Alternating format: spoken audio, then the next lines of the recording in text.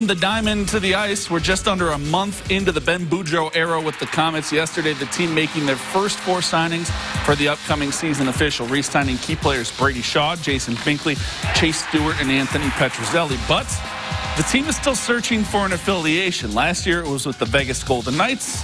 This year, well, that's still up in the air.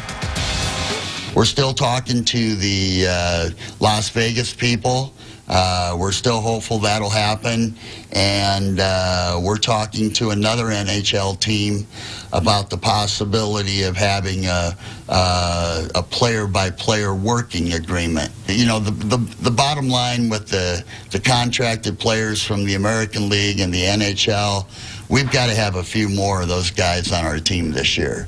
Uh, we only had one uh, uh, higher level contracted player last year, and uh, they're usually good players, and they uh, they fit the salary cap uh, real well too. So it's a goal of ours to have more higher level contracted players on the roster than what we did last year.